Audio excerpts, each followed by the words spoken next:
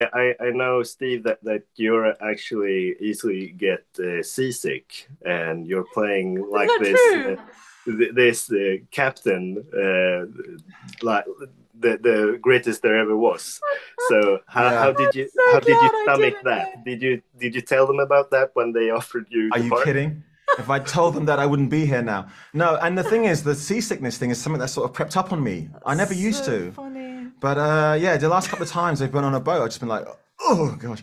But no, I, I, I kept that quiet until I had signed on the dotted line, and then ha, it's too late. You've got me now.